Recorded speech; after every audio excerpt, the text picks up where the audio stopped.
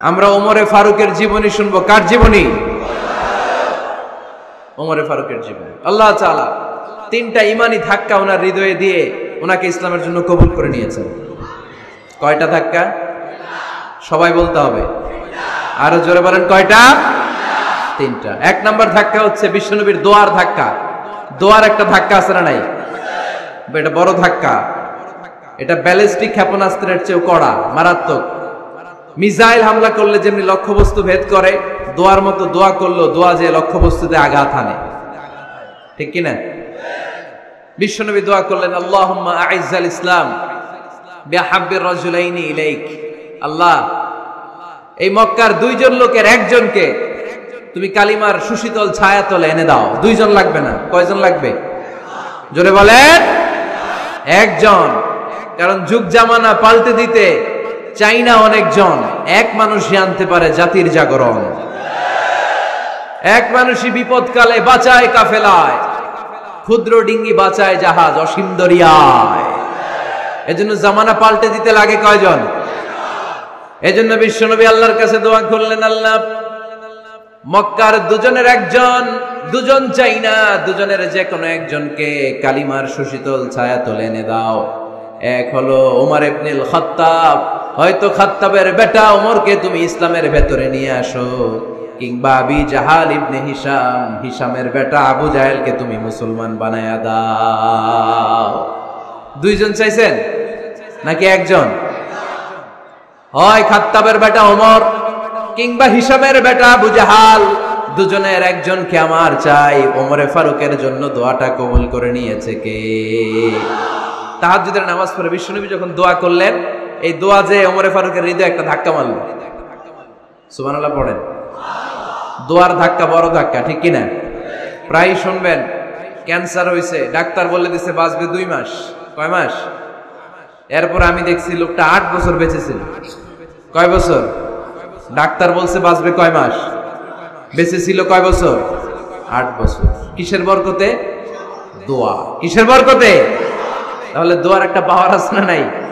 একটা বিশ্বনবী দোয়া করলেন আল্লাহ। হয় ওমরে ফারুককে আপনি এনে দেন, অথবা আবু জাহেলের মনটারে নরম করে দেন। ওমরে ফারুকের জন্য দোয়াটা কবুল করে নিল কে? এই দোয়ার একটা বরকত ওমরে ফারুকের হৃদয়ে ছুঁয়ে গেল। এক নাম্বার ধাক্কা। ধাক্কা সব একবারে দেওয়া যায় না। ধাক্কা একবারে দেওয়া যায়। ডাক্তারের কাছে গেলে ডাইরেক্ট কি অ্যান্টিবায়োটিক মারে? কথা বলেন? প্রথমে সামান্য ওষুধ দেয়। Simple dose. তারপরে ডোজ একটু বাড়ায়। ফাইনালি কাজ না হলে অ্যান্টিবায়োটিক মারে। কথা বলেন। প্রথম ধাক্কাটা গেল তিনি দোয়ার ধাক্কা। বিশ্বনবী দোয়া করলেন। ওই দোয়ায় ওমরে ফারুকের হৃদয়ে ছুঁয়ে গেল। এরপরে রব্বুল আলমিন ওমরে ফারুককে ধাক্কা মারলেন কোরআনের একটা সূরা দিয়ে। সূরাটার নাম হলো সুরাতুল কি সুরা? কোন সূরা দিয়ে ধাক্কা দিছে? সূরা হাক্কা। সুরা হাক্কা দিয়ে দিছে এক। কথা কয় না। সূরা হাক্কা দিয়ে দিয়েছেন এক।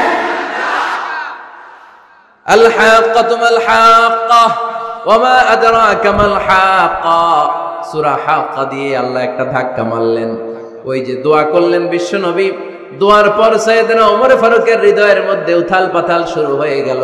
সব সময় লুকিয়ে লুকিয়ে বিশ্বনবীরে ফলো করে। বিশ্বনবী ডানে গেলে ওমরে ফারুক ডানে যায়, বিশ্বনবী বায়ে গেলে ওমরে ফারুক বায়ে যায়। বিশ্বনবী রাত্রিবেলা নামাজ পড়লে ওমরে ফারুক পেছনে লুকিয়ে লুকিয়ে বিশ্বনবীর কোরআন শুনে। বিশ্বনবী মসজিদুল হারামের পাশে দাঁড়িয়ে রাতের ষাট সালাত আদায় করছিলেন। ওই টাইমে বিশ্বনবী সুরাতুল হাক তালাওয়াত করছিলেন কোন সুরা? সুরাতুল হাক বিশ্বনবী তেলাওয়াত করছেন। ওমরে ফারুক মন্ত্রমুগ্ধ হয়ে বিশ্বনবীর কণ্ঠের তেলাওয়াত শুনে। বিশ্বনবীর তেলাওয়াতের কণ্ঠ আমাদের কণ্ঠের মতো নাকি? বিশ্বনবীর কণ্ঠ কারি বাসাদের কণ্ঠের মতো? আহমাদ বিন ইউসুফের কণ্ঠের মতো? আমার নবীর কণ্ঠের সুরের ঝংকারের সাথে পৃথিবীর কোন কারি সাহেবের তুলনা চলবে? কত মধুর, কত সুন্দর, কত অসাধারণ তেলাওয়াত করতেন আমার বিশ্বনবী একবার তেলাওয়াত শুনলে পাগল না হয়ে কেউ থাকতে পারত না। বিশ্বনবী ওমরে ফারুককে দেখেন নাই ওমরে ফারুক লুকিয়ে লুকিয়ে বিশ্বনবীরে ফলো করে। বিশ্বনবী এশার সালাতে সুরা হাক তেলাওয়াত করতে আরম্ভ করলেন। তেলাওয়াত করতে করতে করতে করতে বিশ্বনবী সামনের দিকে যেতে লাগলেন। বিশ্বনবীর চমৎকার কণ্ঠের তেলাওয়াত শুনে ওমরে ফারুক মুগ্ধ হতে লাগল। ওমরে ফারুক অবাক, কিরে, এত সুন্দর শব্দের গাঁথনি, এত সুন্দর বাক্য, এত সুন্দর অন্তমিল এত সুন্দর কথা, এটা কবিতার মতো লাগে। মনে হয় মোহাম্মদ কবি হয়ে গেছে। কি হয়ে গেছে? সবাই বলেন। মনে হয় মোহাম্মদ কবি হয়ে গেছে। কাব্য প্রতিভা দিয়ে নিজেই কবিতা বানাইছে। ওমরে ফারুক যখন মনে মনে ভাবলেন, এগুলো মনে হয় মোহাম্মদ কবিতা পড়ে। মোহাম্মদ মনে হয় কবি হয়ে গিয়েছে। ইন দ্য মিন টাইম বিশ্বনবী। তেলাওয়াত করছিলেন সুরা হাক্কা থেকে, ওয়ামা হুয়া বিকাউলি শাইরিন কলিলাম অর্থ হলো, এটা কোনো কবির বানানো কবিতা নয়, তোমরা অল্প সংখ্যক লোকই এই কোরআনের উপরে ঈমান আনো। পড়ে বিষ্ণুনবী ওমরে ফারুককে দেখছে নাকি? কথা কয় না। দেখেছে? না। বিশ্বনবী বিশ্বনবীর মতো তেলাওয়াত করে যাচ্ছে। ওমর ফারুক যখন মনে করলেন, কিরে, এই কথাগুলো এত সুন্দর? এটা মনে হয় কবিতা। ইন দ্য মেইন টাইম বিশ্বনবী যে আয়াতটা তেলাওয়াত করছিলেন কোইন্সিডেন্টলি দৈবাক মিলে গিয়েছে। ওই আয়াতের অর্থ ছিল, এটা কোনো কবির বানানো কবিতা না। খুব অল্প সংখ্যকই তোমরা ইমান আনো। এবার তোমরে ফারুক আটকে উঠলেন। ঘটনা কি? আমি মনে মনে ভাবলাম, মোহাম্মদ কবি, আর যেটা পড়তেছে এটা কবিতা। কিন্তু মোহাম্মদ আমার দেখেও নাই, কিন্তু বলতেছে, এটা কবির বানানো কবিতা না। তাহলে মোহাম্মদ মনে হয় গণক হয়ে গেছে। কার মনে কি চলে না দেখেই বলতে পারে? নাজবিল্লাহ পড়বেন না? ওমর ফারুক এবার মনে মনে ভাবে, মোহাম্মদ, তাহলে কবি না আগেরটা ভুল? ভুল ধারণা আমি করেছি, মোহাম্মদ কবি নয়, মোহাম্মদ হলো গণক। আওয়াজ করে পড়েন না আউদুবিল্লাহ মোহাম্মদ মানুষের মনে কি চলে, গণনা করে সব টের পেয়ে যায়, সব বুঝতে পারে। বিশ্বনবী তখন যে আয়াতটা তেলাওয়াত করছিলেন, সেটা হলো, ওয়ালা বিকাউলি قليلا ما تذكرون বিষ্ণুনবী তখন যে আয়াতটা তেলাওয়াত করছিলেন এই আয়াতের অর্থ হলো এটা কোনো গণকের বানানো কথা নয় খুব অল্প সংখ্যক লোকই তোমরা উপদেশ গ্রহণ করো বিষ্ণুনবী ওমরে ফারুককে দেখে কথা কয় না দেখে না কিন্তু মিলে যাচ্ছে ওই আয়াতের পরের আয়াতটা ছিল এটা গণকের বানানো কোনো গণনা নয় খুব অল্প সংখ্যকই তোমরা ইমান আনো। এবার তো ওমরে ফারুক বেহুশ। হায় হায়। প্রথমে ভাবলাম কবিতা। সে পড়ে যাচ্ছে না। কবির বানানো কবিতা না। এরপর মনে মনে ভাবলাম, মনে হয় গণক। সে বলে, না, এটা গণকের বানানো গণনা নয়। তাহলে এটা কি? এটা কি? কি এটা? কি পড়ে মোহাম্মদ, যার কণ্ঠের তেলাওয়াত শুনলে মানুষ পাগল হয়ে যায়। বিষ্ণুবী তখন পড়তে আরম্ভ করলেন আলামিন। এর মানে হলো এটা কবিতা না, এটা গণকের বানানো গণনা না, মানুষের বানানো কিচ্ছু না, এটা গোটা বিশ্বের রব আল্লাহ পাকের বাণী। পড়ে। এই দুই নাম্বার ডোজ পড়ল, প্রথম ডোজ পড়ছে দোয়ার ডোজ, প্রথম ডোজ কিসের? দোয়ার। দুই নাম্বার সুরা হাক্কা দিয়ে আল্লাহ দিলেন এক ধাক্কা। সুরা হাক্কার ওই ঘটনার পরে উমরে ফারুক তো পাগল। পাগল পড়া, কি ঘটে গেল আমার সাথে ওই দিন? আমি মনে মনে যা ভাবি সব মোহাম্মদ বুঝে। আল্লাহ দুই নাম্বার ডোজ দিলেন সুরা হাক্কা দিয়ে এক ধাক্কা। সোমান আল্লাহ পড়েন। এরপরে ওমরে ফারুক প্রায় বিশ্বনবীর কথা ভাবেন। বিশ্বনবী কোথায় যান? লুকিয়ে লুকিয়ে দেখেন। এবার রব্বুল আলমিন ভাবলেন, এবার সুরা তহা দিয়ে আমি তিন নাম্বার ডোজ দিয়ে দিব। পড়েন সুহান এবার তিন নাম্বার ডোজ পাবেন। কিন্তু শয়তান ওয়াসওয়াসা দিচ্ছে। ওমরে ফারুক, যাও। মক্কায় ঘোষণা হয়েছে, মোহাম্মদের কল্লা এনে দিতে পারলে এত এত স্বর্ণ মুদ্রা। শয়তানের ওয়াসওয়াসায় আবার ভুল পথে হাঁটতে লাগলেন সৈয়দনা উমার। নাঙ্গা তরবার নিয়ে বিশ্বনবীর মাথা কাটার জন্য বের হয়ে গেলেন। বনু জাহারা গোত্রের একটা লোক বলে, ওমর, তুমি কোথায় যাও? ওমরে ফারুক বলেন, মোহাম্মদের কল্লা কাটার জন্য যাচ্ছি, পড়েন না আবু জাহারা গোত্রের লোক বলে, তুমি মোহাম্মদের কল্লা কাটতে যাও। আরে, তোমার বোন ফাতেমা বিনতে খাত্তাব আর তোমার বোনের জামাই সাঈদ। এরা তো দুজন কালিমা পড়ে মুসলমান হয়ে গেছে। আরে, মোহাম্মদের কল্লা পরে কেটো, আগে ঘর সামলাও যে ওমর। আগে ঘর সামলাও। পরে তুমি মোহাম্মদের কল্লা কাটতে যাও। ওমরে ফারুক রেগে গেলেন, রাস্তা ঘুরিয়ে বাড়ির দিকে চলতে আরম্ভ করলেন। রাগে তিনি গড় করছেন। ওমরে ফারুকের বোন ফাতেমা বিনতে খাত্তাব, বোনের জামাই সাঈদ, তাদের দুইজনকে খাব্বাব রাদিয়াল্লাহু তাআলা আনহু সূরা তাহা ঘরের ভিতরে তেলাওয়াত করে শোনাচ্ছিল, পড়েন সুবহানাল্লাহ। সূরা তাহা দিয়ে আল্লাহ একটু পরে ধাক্কা মারবে আরেকটা। ওমরে ফারুক যখন আসলেন, ওমরে ফারুকের আওয়াজ শুনে খাব্বাব রাদিয়াল্লাহু তাআলা আনহু লুকিয়ে গেলেন। ওমরে ফারুক দরজার মধ্যে কড়া নাড়লেন। বোন বলে, কে তুমি? সৈয়দান ওমর বললেন, আমি ওমর। খুলে দেওয়া হলো। ঘরের ভেতরে ঢুকেই কথা নাই, বার্তা নাই। নিজের আপন বোনকে মারতে শুরু করল ওমর বোন জামাইকে আঘাত করতে শুরু করল। মারতে মারতে নিজের কলিজার টুকরা বোনকে, বোনের জামাইকে সৈয়দান ওমরে ফারুক পিটাতে পিটাতে রক্তাক্ত করে ফেললেন। গা দিয়ে ফিনকি বের বের হয়ে যখন রক্ত বের হয়, সৈয়দনা ওমরে ফারুকের দিলের মধ্যে মায়া তৈরি হয়ে যায়। সৈয়দনা ওমরে ফারুক বললেন, আমার কলিজার টুকরা বোন আর বোন জামাই, তোরা কেন মোহাম্মদের কথায় পাগল হলি? বুঝলাম না কেন মক্কার লোকগুলো পাগল পড়া হয়ে সব মোহাম্মদের দলে চলে যায়। কি এমন কথা মোহাম্মদ তোদের শোনায়, কি এমন বাণী তোদের শোনায় যে বাণী শুনে সব তোরা মোহাম্মদের দলে চলে গেলি? কি আছে মোহাম্মদের কাছে কি? কি জাদুটা কি? কি জাদু পেলি সেখানে? আমার একটু দেখা। বোন ফাতেমা বলে, না ভাই, ইন্নাকা রিজিস তুমি ইল্লাল মুতাহহারুন পাক পবিত্র না হয়ে আল্লাহর এই স্পর্শ করা যায় নাকি? আওয়াজ করে বলেন, স্পর্শ করা যায়। ভাই, তুমি গোসল করে আসো, তাহলে তোমার হাতে তুলে দিব, তুমি পড়লেই বুঝতে পারবা কি আছে আল্লাহর এই কোরআনে। ওমর ফারুক গোসল করে আসলেন। বোন এবার সূরা চামড়ার মধ্যে সুরাতু তহার কিছু অংশ লিখে খাব্বাব রাদিয়াল্লাহু তাআলা লুকিয়েছিলেন ওনার হাত থেকে সূরা তহার অংশটা নিয়ে। সৈয়দনা ওমরে ফারুকের বোন ওমরে ফারুকের হাতে দিয়ে বলল, ভাই, তুমি আসার আগে এই অংশটা সবাই মিলে তেলাওয়াত করছিলাম। ওমরে ফারুকের হৃদয়টা তখন একেবারে নরম, কারণ আগে ধাক্কা খাইছে কয়টা? জোরে বলতে হবে। প্রথম ধাক্কাটা কিসের? হ্যাঁ? দোয়া। দ্বিতীয়টা হাক্কা সুরার নাম? হাক্কা দিয়ে দিছেন আল্লাহ? ধাক্কা। এবার দিবে সুরা তোহার ধাক্কা। ওমরে ফারুক হাতে নিলেন। খুব ভালো আরবি জানতেন। চমৎকার আরবির অর্থ বুঝতেন, কারণ আরবি ভাষাভাষী মানুষ। হাতে নিয়ে নজর দেওয়ার পরে ওনার চোখ দিয়ে দাঁড় দাঁড় করে পানি বের হয়ে গেল।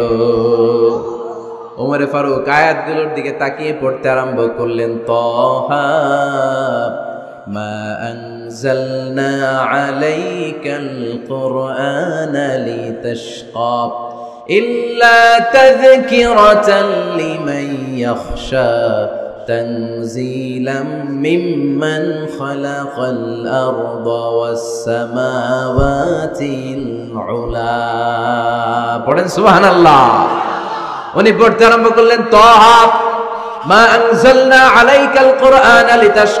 এই কোরআনকে হতভাগা জাতি হিসেবে থাকার জন্য তোমাদের উপর নাজিল করি নাই। তানজিলাম মিম্মান খালাকাল আরদা এটা ওই রবের পক্ষ থেকে, ওই সত্তার পক্ষ থেকে নাজিল হয়েছে। যেই রব জমিন তৈরি করেছেন, যেই রব বিশাল সুবিশাল আকাশও তৈরি করেছেন। সুবহানাল্লাহ পড়েন। সূরা তোহার, এই চমৎকার অসাধারণ শব্দ গাঁথনি দিয়ে এই আয়াতগুলো যখন পড়তে আরম্ভ করলেন, ওমরে ফারুক আর নিজের উপর ব্যালেন্স রাখতে পারলেন না। আর ধরে রাখতে পারলেন না। এবার ডাইরেক্ট অ্যাকশন এবার কি? এবার কি? তিন নম্বর ধাক্কা খেয়ে সুরা তোহার ধাক্কা খেয়ে আর সামলাতে পারলেন না। পাগলের মতো হয়ে গেলেন। বলতে আরম্ভ করলেন, আইনা মোহাম্মদ মোহাম্মদ কোথায়? সৈয়দনা খাব্বাব বললেন, বিশ্বনবী সাফা পাহাড়ের পাদদেশে দারুল আরকাম ইবনে আবিল আরকামের ঘরে বসে বসে লুকিয়ে লুকিয়ে কোরআনের দাওয়াত দিচ্ছে। ওমার, তুমি যদি মোহাম্মদ সাহা ইসলামের দেখা পেতে চাও, তাড়াতাড়ি দারুল আরকামের ঘরের দিকে ছুটে যাও ওমরে ফারুক তলোয়ার নিয়ে ছুটলেন। পাগলের মতো ছুটলেন। আর ধৈর্য ধারণ করতে পারেন না। বিশ্বনবীর নূরানি চেহারাটা একবার দেখার জন্য পাগলের মতো ছুটতে আরম্ভ করলেন। ওমরে ফারুককে দারুল আরকামের কাছে আসতে দেখে বিশ্বনবীর চাচা হামজা ইবনে আব্দুল মুত্তালিব এসে বলে, নবী, তাড়াতাড়ি দারুল আরকামের ঘর থেকে আপনি পালিয়ে অন্য কোথাও চলে যান। ওই যে ওমর ইবনে খাত্তাব নাঙ্গা তলোয়ার নিয়ে আপনার উপর আক্রমণ করার জন্য ছুটে আসছে গো নবী। বিশ্বনবী বললেন, ও আমার সাহাবারা, ও আমার চাচা হামজা, সবাই আপনারা সরে যান। ওমর রে আসতে দেন ওমর রে বাধা দিয়েন না। কারণ কিছুদিন আগে তাহাজ্জুদের নামাজ পড়ে আমি আল্লাহর কাছে একটা বিশেষ দোয়া করেছি। আমার মন বলছে, ওই দোয়াটা আল্লাহ কবুল করতে শুরু করেছে। ওমারে ফারুক চলে আসলেন।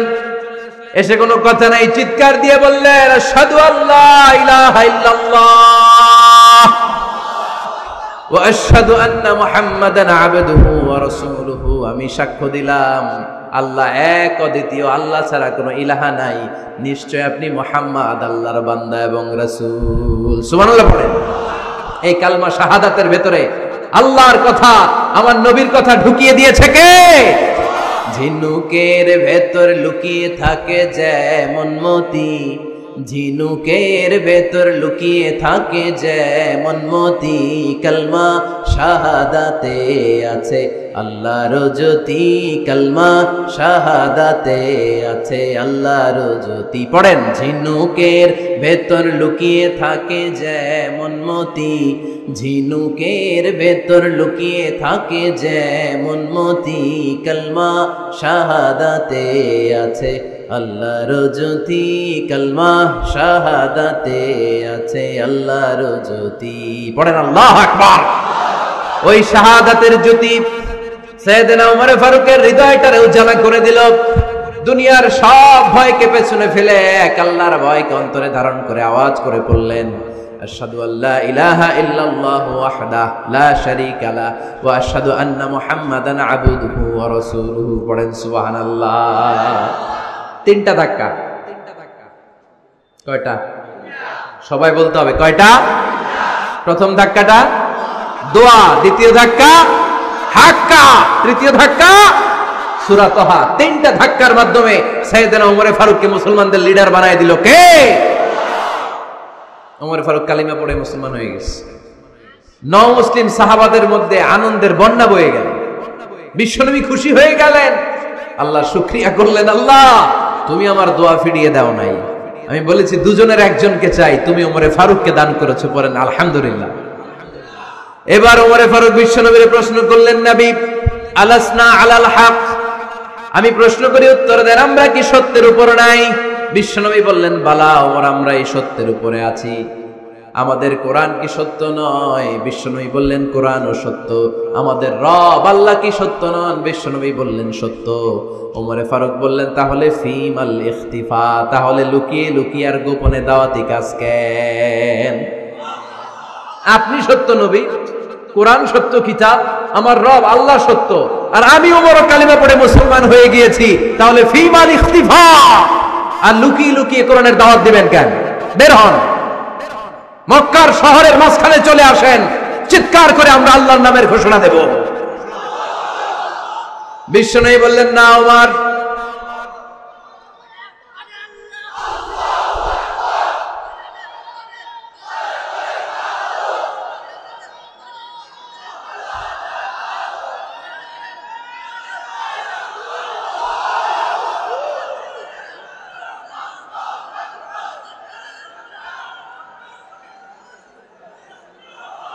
বিশ্বনবী ডেকে বললেন, না, ওমার এটা মাক্কি জীবন। ওমার এটা মাক্কি জীবন। এখানে দাওয়াতি কাজ করব, লুকিয়ে লুকিয়ে, আস্তে আস্তে। আল্লাহ যখন আমাদেরকে বিজয়ী করে দিবেন, তখন আমরা প্রকাশ্যে দাওয়াত দিলে কোনো সমস্যা নাই। সৈয়দ নমরে ফারুক বলেন না, ও নবী, আমার উপর ছেড়ে দেন। আমি দেখব, আপনি আমারে শুধু মক্কার জামিনে একটা মিছিল দেওয়ার অনুমতি দেন। কিসের অনুমতি? আল্লাহর নামের তাকবির দেওয়ার অনুমতি দেন। বিষ্ণু বললেন, ঠিক আছে, সাবধানে তাকবির দিও। ওমরে ফারুক তাকবির দেওয়ার জন্য লক্ষ্য খুঁজতে আরম্ভ করলেন। ন মুসলিম, এগারো জন সাহাবাকে খুঁজে পেলেন। কয়জন? ওমরে ফারুক বললেন, এগারো জনই চলবে। এগারো জনকে দুই লাইন করলেন, কয় লাইন? পিছনে ছয় জন, সামনে পাঁচজন পিছনের লাইনের নেতা বানিয়ে দিলেন বিশ্বনবীর চাচা হামজা ইবনে আব্দুল মুত্তালিবকে। প্রথম লাইনের পাঁচ জনের নেতৃত্ব দিতে আরম্ভ করলেন সাইয়েদেন ওমরে ফারুক নিজেই। দুই লাইন দুই লাইন তাকবির দিতে জানলে বেশি মানুষ লাগে না। দশ জন দিয়ে গোটা বিশ্বটারে কাঁপিয়ে দেয়া যায়। এগারো জন এগারো জন, ছয় আর পাঁচ। ওমর ফারুক সামনে দাঁড়ালেন। ওমর ফারুক সামনে দাঁড়িয়ে এবার আল্লাহর নামের স্লোগান দিবেন। ওমরে ফারুক বলেন আমরা খুব লম্বা চূড়া স্লোগান দেব না, খুব ছোট্ট। দারুল আর কামের ঘর থেকে কাবা ঘর পর্যন্ত, বাইতুল্লাহ পর্যন্ত। এতটুকু জায়গা আমরা তাকবির দিতে দিতে সামনের দিকে এগোবো। পৃথিবীর কোনো শক্তি আমাদেরকে থামায় দিতে পারবে না। ওমরে ফারুক তখন এক বাক্যের একটা ভাষণ দিলেন। কয় বাক্যের? ওমরে ফারুক সামনে দাঁড়িয়ে বললেন, মান আরাদান তাসকুলা উম্মু, ইয়া জামা ওয়ালাদু। তারমিলা জাওজাতুহু ফালিয়া সুদ্দানি কে আছো? মান আরাদান তাসকুলা উম্মু, কে আছো? মায়ের বুক খালি করতে চাও। ইয়া কে আছো? বানাতে চাও। তার মিলা কার বুকের পাটা আছে দেখি? স্ত্রীকে বিধবা বানাতে চাও? বুকের থাকলে আমি উমর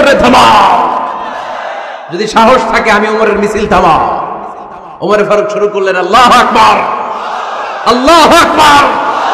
আল্লাহ আকবার। স্লোগান দিতে দিতে সৈয়দনা ওমরে ফারুক কাবার গিলাফ যে স্পর্শ করলেন, ওমরে ফারুকের এই স্লোগান কেউ থামাতে পারে নাই। কেমন পর্যন্ত এ আল্লাহর নামের স্লোগান কেউ থামাতে পারবে না, চিল্লায় বলো, ঠিক কিনা?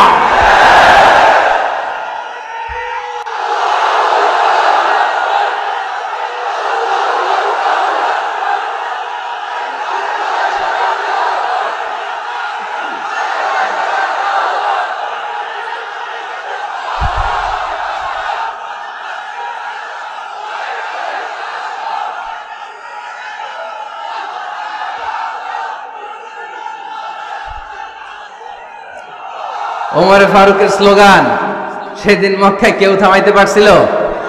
আওয়াজ করে বলতে পারছিল? এখনও আল্লাহর নামের স্লোগান কেউ থামাই দিতে পারবে? কেয়ামত পর্যন্ত আমার রবের স্লোগান কেউ থামাতে পারবে? পারবে না। আবু জাহেল, উতবা সাইবা ওয়ালিদ ইবনে মগিরা, আল্লাহ আকবার ধ্বনি শুনে বাইরে আসছে। কিরে, এত বড় স্লোগান? আমাদের কাছ থেকে পারমিশন নেয় নাই, অনুমতি নেয় নাই। অনুমতি নেওয়া ছাড়াই স্লোগান শুরু। বের হয়ে দেখে মিছিলের সামনে ওমর। ওমরে ফারুককে দেখে আবু জাহেল দিছে এক দৌড়। উৎপা দিছে আরেক দৌড়। সাহেবা দিছে বহু দৌড়। সুবহানাল্লাহ পড়বেন না? এজন্য ওমর বেশি লাগে না, ওমর লাগে একজন। চিল্লায় বলতে হবে, ওমরে ফারুক লাগে কয়জন? একজন ওমারই গোটা বিশ্বের চেহারা পাল্টে দিতে সক্ষম, চিল্লায় বলেন, ঠিক কিনা? গোটা বিশ্বে মুসলমানদের আছে করুণ অবস্থা। আমাদের কোনো সেন্ট্রাল লিডারশিপ নাই। আমাদের মুসলিম দেশগুলোর এক করে রাখবে, ভাইয়ের ভাইয়ের মতো রাখবে, আমাদের স্বার্থ নিয়ে কথা বলবে, এরকম নেতা আমাদের নাই, ঠিক কিনা? আমরা সেই ওমরে ফারুকের অপেক্ষায়, আমরা সেই ইমাম আল মাহাদির অপেক্ষায়, যার একটা হুঙ্কারের আহ্বানে গোটা বিশ্বের সব মুসলমান এক প্ল্যাটফর্মে চলে আসবে। ওইরকম নেতা একজন লাগবে, কয়জন? গোটা মুসলিম উম্মাকে একত্রিত করার জন্য একজন ওমরে যথেষ্ট, ঠিক কিনা? আবার বিশ্বনবী বলছেন আমার পরে কোনো নবী নাই, আমার পরে কোনো রাসূল নাই। তবে উমর। আমি নবীর পরে যদি নবী হওয়ার যোগ্যতা কারও থাকে, আমার ওমরের মধ্যে সেই যোগ্যতা আল্লাহ দিয়েছে। প্রভু, তুমি বলেছ রাসূল দেবে না। বলনি দেবে না ওমর বলনি দেবে না হামজা তারিক খালিদ বিজয় সমর, প্রভু তুমি বলেছ রসুল দেবে না। বলনি দেবে না ওমর, বলনি দেবে না হামজা তারিক খালিদ বিজয় সমর, প্রভু তুমি বলেছ রসুল দেবে না। একটা আমার দরকার। কয়জন দরকার? কয়জন দরকার? এই পুরা উম্মা, মুসলিম উম্মার মধ্যে ওনার পজিশন নাম্বার থ্রি উমর ফারুকের পজিশন নাম্বার এক নম্বর পজিশন বিশ্বনবী সাল্লাল্লাহু আলাইহি আসসালাম দ্বিতীয় পজিশন দ্বিতীয় পজিশন আবু বকর আর তিন নম্বর পজিশন সুবহানাল্লাহ, পড়বেন না? আশরাতুল মুবাশশিরিনা বিল জান্নাহ। জান্নাতের সুসংবাদ প্রাপ্ত অনেক সাহাবার কথা হাদিসে পাওয়া যায়। কিন্তু এক হাদিসে আল্লাহ রাসুল ইসলাম দশ জন সাহাবির কথা বলেছেন। ওই দশ জনের ভেতরে সৈয়দিন ওমরে ফারুক আছে না নাই? আবার ওমরে ফারুক ছিলেন বিশ্বনবীর শ্বশুর। সৈয়দিন ওমরে ফারুকের কন্যা হাফসা রাদিয়াল্লাহু তাআলা আনহাকে বিশ্বনবী বিয়ে করে ওমরে ফারুকের জামাই হয়েছে। আর ওমরে ফারুককে বিশ্বনবী শ্বশুর বানিয়েছে। সুবহানাল্লাহ পড়েন। আগে জানতেন এটা? ওমরে ফারুক রাদি আল্লাহ চালানহু যে বিশ্বনবীর শ্বশুর ছিল, এটা আজকে প্রথম জানলেন কে কে, দেখি। দেখছেন? অনেকেই জানে না মার্শাল্লাহ হাত নামান, আমরা জেনে নিব, জানতে কোনো সমস্যা নাই। বাঁচতে হলে জানতে হবে। বাঁচতে হলে কি করতে হবে? জানতে হবে।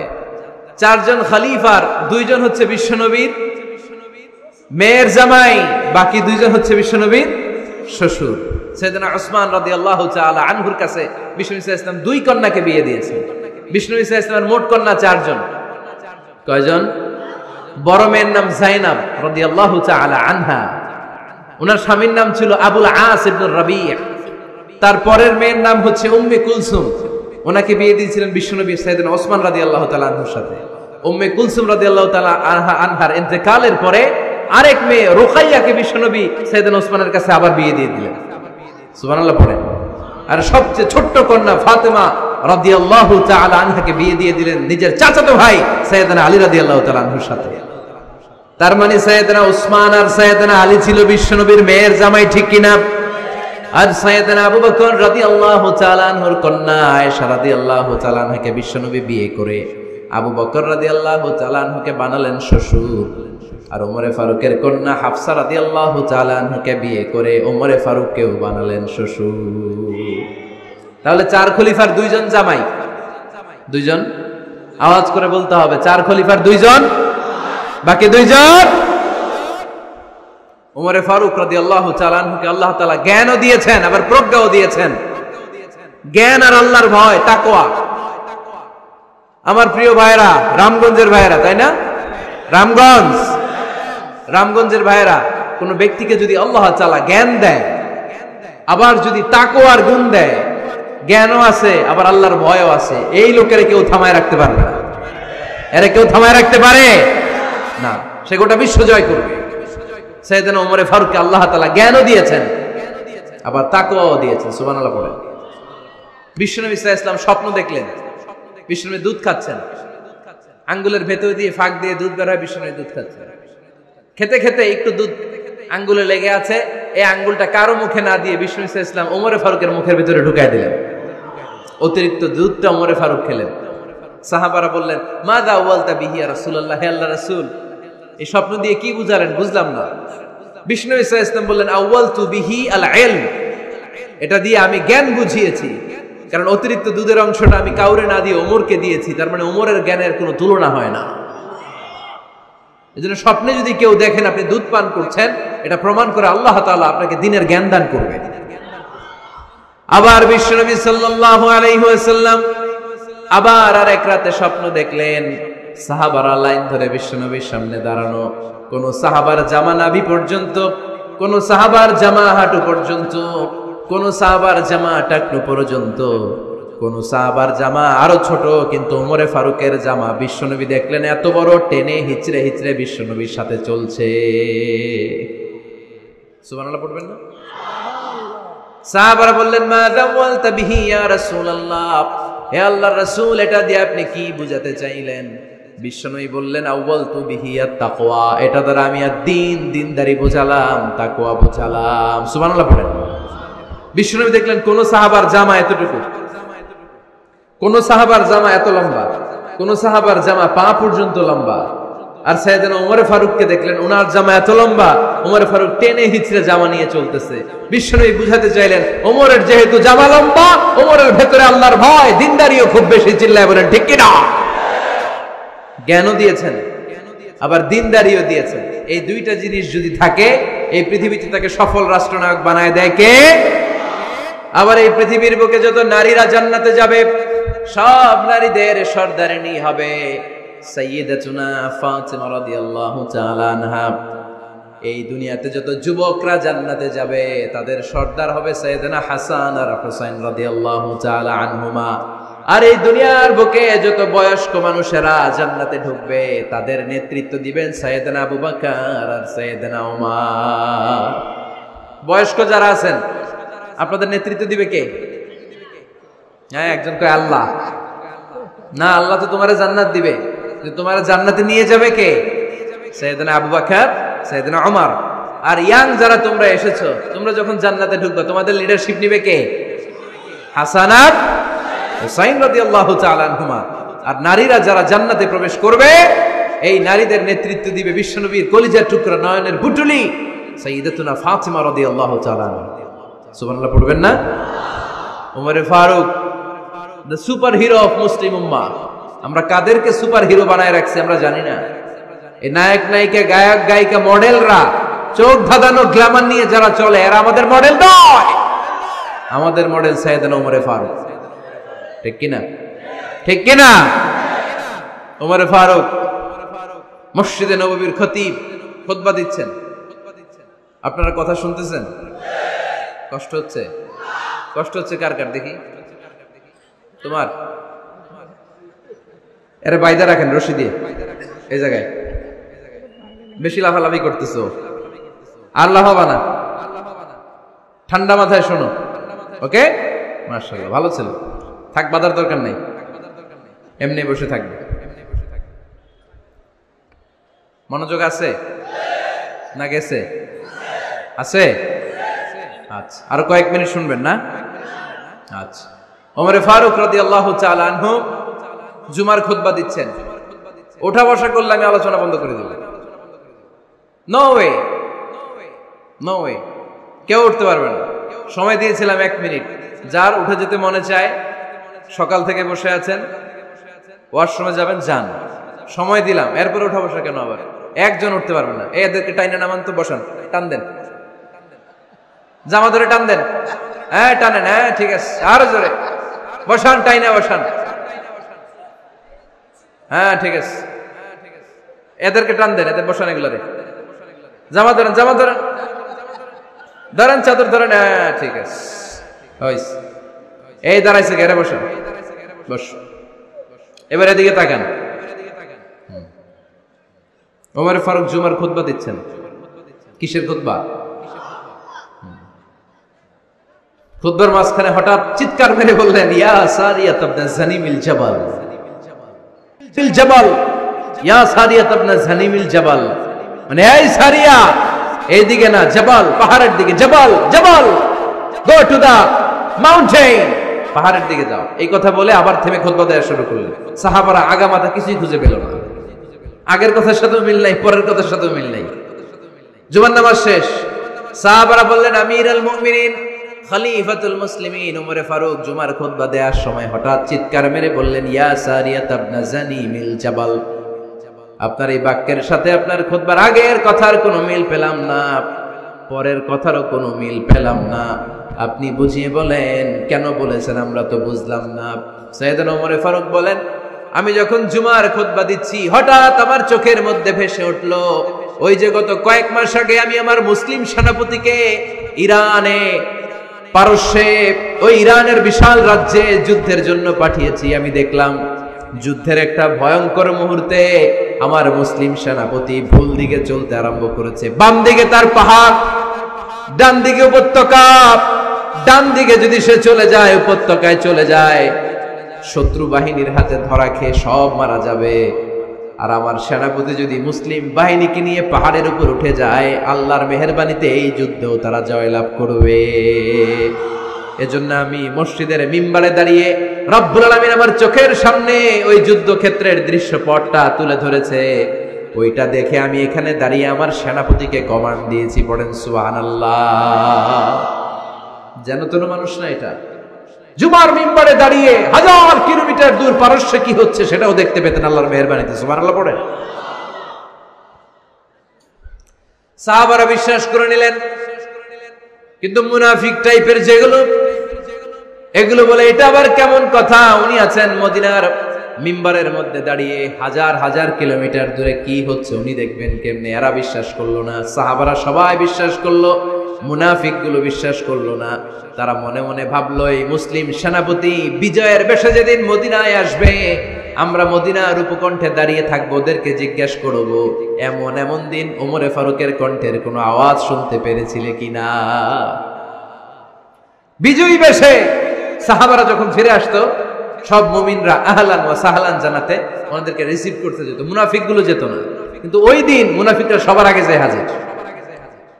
মুসলিম সেনাপতি যখন ঢুকলো, জিজ্ঞেস করল, মুসলিম সেনাপতি, এত এত দিন আগের কথা, জুমার দিন দুপুর বেলা যুদ্ধক্ষেত্রে হঠাৎ করে আমিরুল মুমিনের কোনো কথা তুমি তোমার কান দিয়ে শুনতে পেরেছিলে কিনা বলো? সেনাপতি বলল, তোমরা কেমন করে বুঝলা? কেমন করে তোমরা জানলা? তোমরা ঠিকই জেনেছো, ঠিকই ধরেছ, ঠিকই বলেছ। যুদ্ধের কঠিন মুহূর্তে ভুল করে আমি উপত্যকার দিকে মুসলিম বাহিনীকে নিয়ে ছুটতে আরম্ভ করেছিলাম। হঠাৎ করে আমিরুল মুমিনের একটা কণ্ঠ আমার কানের ভেতরে ভেসে আসলো। আমি শুনতে পেলাম, ইয়া সারিয়া তাবনাজানি মিল জাবাল, ডান দিকে উপত্যকার দিকে যেও না, তাড়াতাড়ি বাম দিকে পাহাড়ের উপর চড়ে যা। শুনেছি আমি, আমার নিজ কানে শুনেছি, তোমরা কি করে জানলে? আমি নিজে শুনেছি, সেদিন আমিরুল মুমিনের ইনস্ট্রাকশন এই গাইডলাইন যদি আমরা ফলো করতে না পারতাম, শত্রু বাহিনীর হাতে আমরা কচু কাটা হতাম, আমাদের চেহারা, আমাদের আত্মীয় স্বজনরা তোমরা কেউ দেখতে পেতে না পড়েন। সুবহানাল্লাহ। This is our super hero আমাদের সুপার হিরোর নাম কি? চিল্লায় বলতে হবে। ওমরে ফারুক রাদিয়াল্লাহু তাআলা আনহু। এভাবে গাইডলাইন দিয়েছেন এভাবে ইনস্ট্রাকশন দিয়েছেন। ওমর ফারুকের ব্যাপারে বিষ্ণুই বলেছেন আসাদুহুম ফি আমরিল্লাহি আমার। আল্লাহর জমিনে, আল্লাহর দিন বাস্তবায়নের ক্ষেত্রে আমার ওমরে ফারুকের চাইতে কঠিন কেউ ছিল না। এজন্য ওমরে ফারুককে মুনাফিকরা জমের মতো ভয় পেত। কারা ভয় পেত? এমনকি শয়তানও ভয় পেত। সুবহানাল্লাহ পড়েন।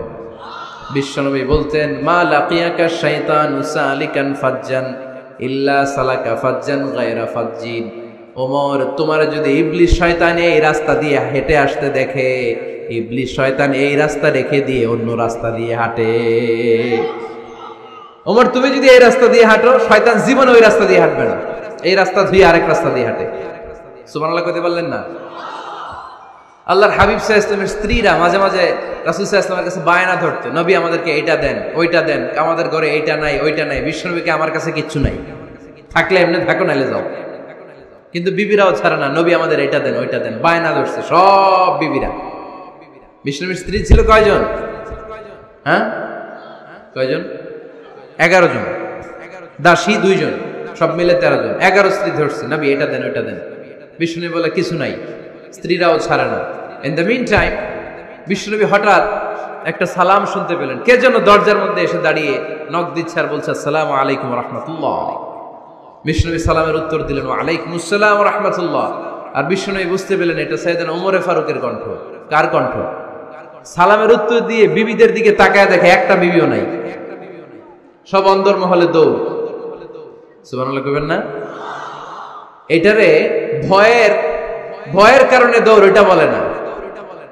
শ্রদ্ধার কারণে, তার হাইবাতের কারণে, হাইবাত পার্সোনালিটি এটাকে বলে হাইবাত অমর ওমরে ফারুকের হাইবাত। পার্সোনালিটি এত স্ট্রং ছিল, ওনাকে দেখলেই মানুষ ভয় পেত, ইসলামের জন্য ভয়। সুবহানাল্লাহ পড়তে হবে।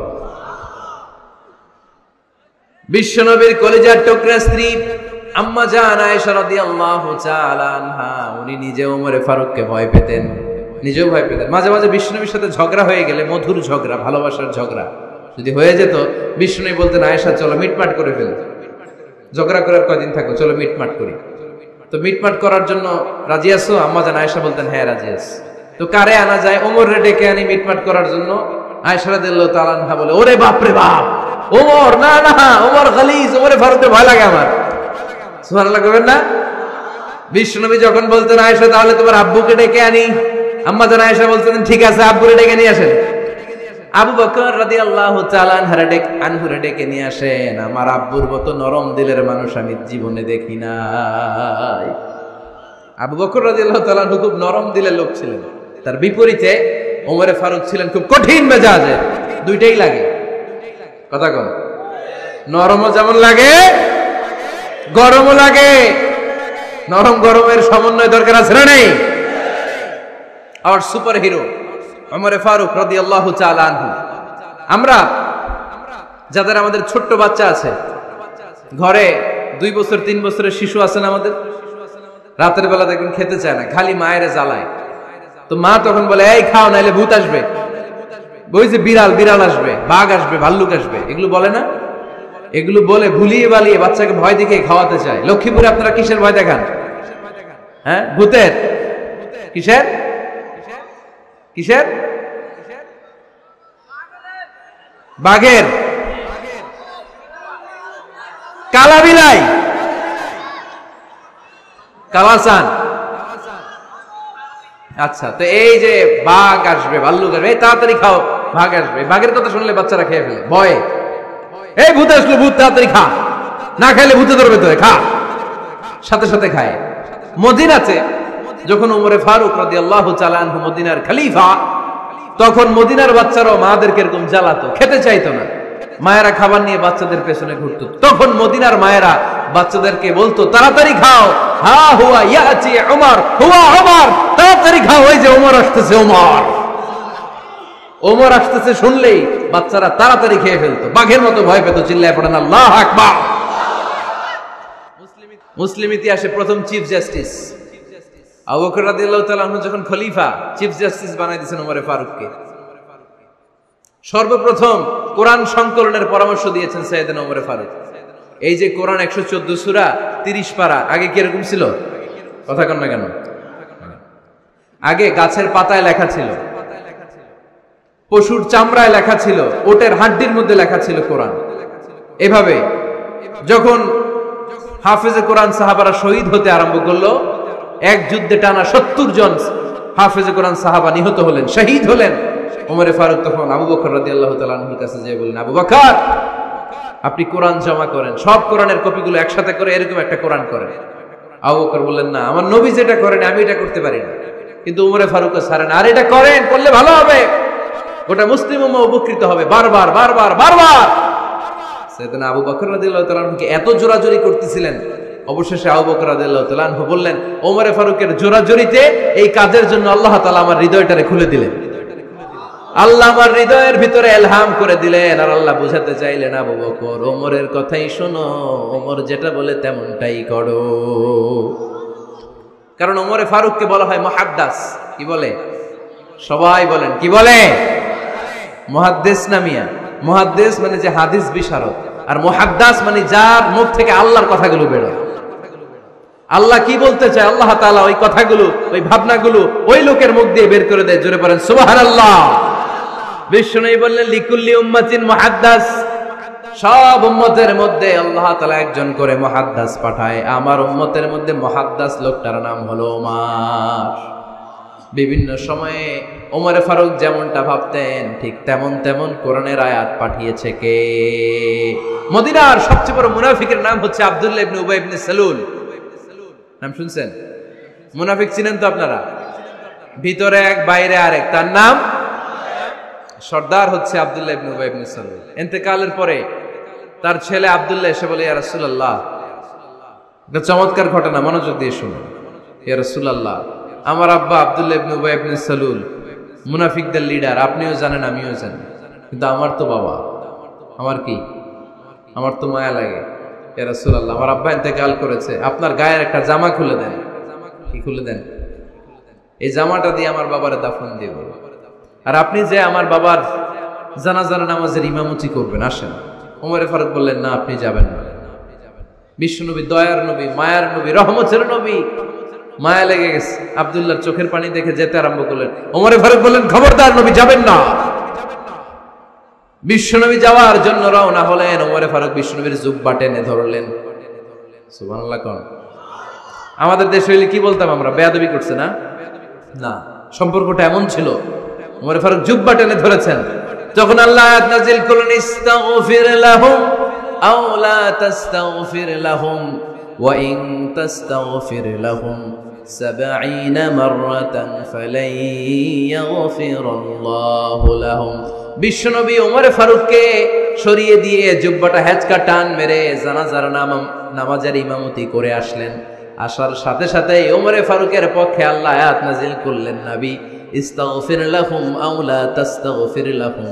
আপনি মুনাফিক সর্দারের জন্য ক্ষমা চান কিংবা না চান, জুব্বা দেন, কিংবা কাঁদেন, যাই করেন না কেন, সত্তর বার যদি এই মুনাফিক সর্দারের জন্য আপনি ক্ষমা চান, আমি আল্লাহ আপনার এই দোয়া কবুল করব না। খবরদার! এটাই ফার্স্ট এটাই লাস্ট আর কোন মুনাফিকের জানাজা দিতে আপনি যাবেন? না। ওমর ফারুকের পক্ষে করোনার আয়াত নাজিল করেছে কে? ওইরকম ওমর আমাদের কয়টা লাগবে? চিল্লায় বলতে হবে কয়টা? কারণ সাইয়েদান ওমরে ফারুক আমাদের অনুপ্রেরণা। সৈয়দনা আবু বকর আমাদের অনুপ্রেরণা, হামজা আমাদের অনুপ্রেরণা, সৈয়দনা বেলাল ইবনে রবাহ আমাদের অনুপ্রেরণা।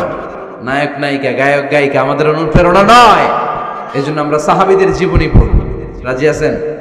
হাত তুলে আল্লাহরে দেখান। আওয়াজ করে বলেন আল্লাহ। আরও জোরে বলেন আল্লাহ। নবীর সাহাবারা, আমাদের মডেল।